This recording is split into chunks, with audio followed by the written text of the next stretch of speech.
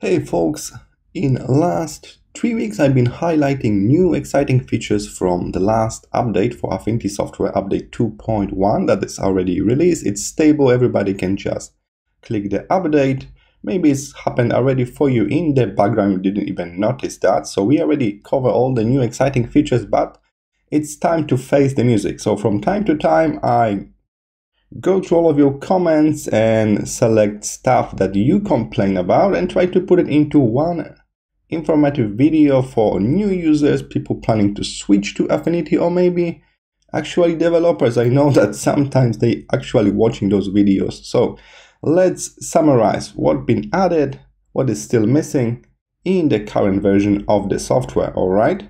So let's get started with Affinity Designer. Affinity Designer was the first one was released and many people believe that this is the most important one for the company right now.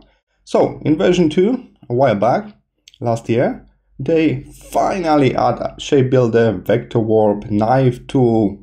We can add multiple styles to just one layer. All of that highly requested features added already.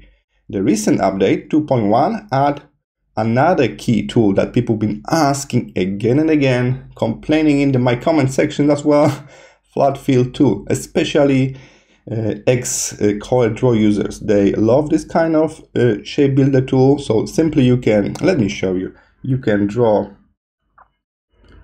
uh, you can draw like separate lines. All right, one more here.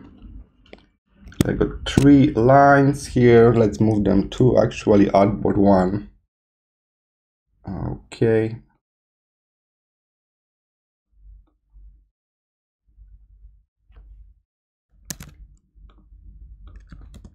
All right, I got three lines as you can see. And thanks to this flood fill tool, I will be able to simply generate a new shape based on this closed area here. Bam.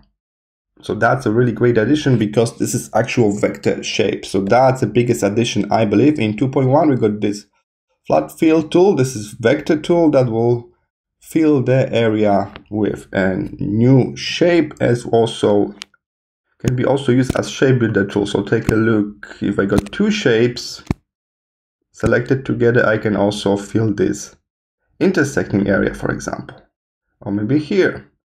All right, generating separate shapes thanks to that. So great addition. What else? They fixed dash lines, so we got more control, we can balance them. Very requested feature, and they fixed many bugs. The release 2.0 is big one, so there are a few bugs here and there, especially for Windows users, but they fixed most of them with this new update. What's still missing? That's the topic of this video, right? So let's take a look. Auto trace, that's still missing. People still waiting for it, especially iPad users. They want to trace raster images into vectors automatically and use it as the starting points very often for their design. So that's important. Auto blend, it's still missing. We cannot just simply generate steps between shapes automatically. We cannot use mesh gradients and we still don't have a proper vector brush. You may say, oh, wait a moment, there is something called a vector brush tool. Yes, that's not a real one. This will make a vector path, yes, but the brush applied to this path is raster brush. That's why you cannot expand it and it's kind of misleading actually. So careful, it's no vector brush right now. That's a key feature for illustrators. All right, so Missing features in Designer. We're still waiting for trace, auto blend, no mesh gradients, no vector brush, and I'm sure somebody will drop something else in the comment section below, something that you're still waiting for.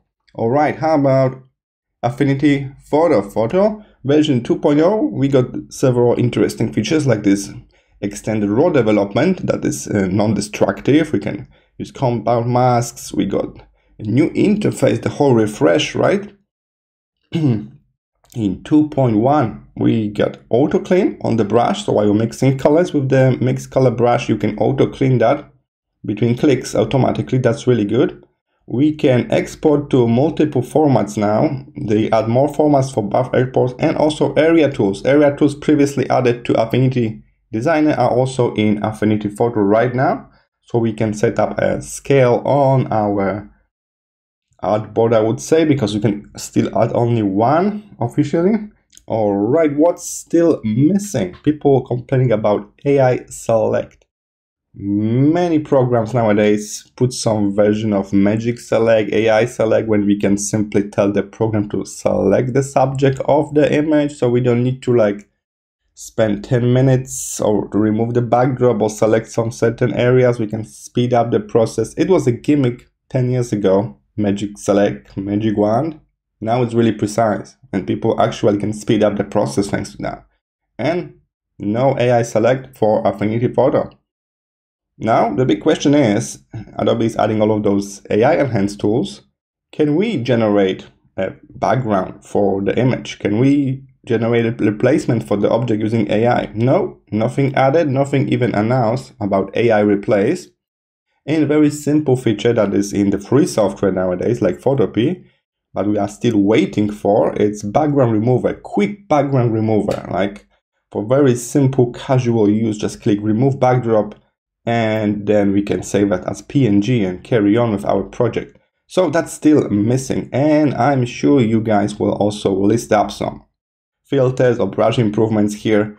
So feel free to use the comment section below if there's something that really bothers you i should include here next time all right so that's for our affinity photo.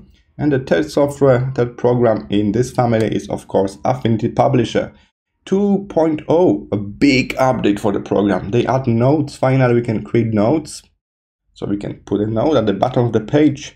ipad version for the very first time we can use affinity publisher on ipad. That's huge.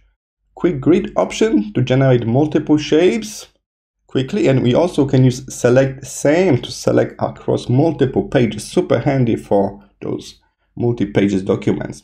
2.1 they add running headers. So we can create a header that will be picked up automatically by running header somewhere in the page. Area tools from affinity designer are now native to affinity publisher and of course i like to say the Studio Link 2.0. Why? Because now we can link to all of the other features. So whatever I say for Affinity Designer or Affinity Photo, we can Studio Link to those new tools as well from within Publisher. We are still waiting for PDF forms. So we want a fillable forms in Affinity Designer. It's still, mm, sorry, Affinity Publisher, it's still missing. We cannot use any script language we want a better PDF export. We got multiple problems with that. People generating long documents and then only to find out that some fonts are export not correctly, like one letter, for example, is bolder than other. So we need a very stable PDF export in software like this. So that can be still improved and small stuff like adding auto caption for images, improve table edits and stuff like that. We are still waiting for that. This is the newest addition to the family. So I believe there are still many missing features.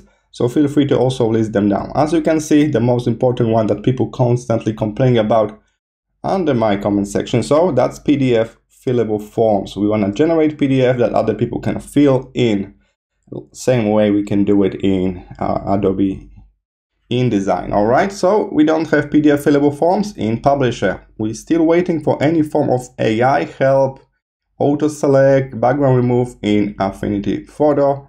And we are still waiting for auto trace, vector brushes in Affinity Designer. So that was a little sum up of update 2.1. If you want to go into details for each program, I create a more detailed video on new features already. Thank you for watching and I hope I will see you in the next tutorial. Bye!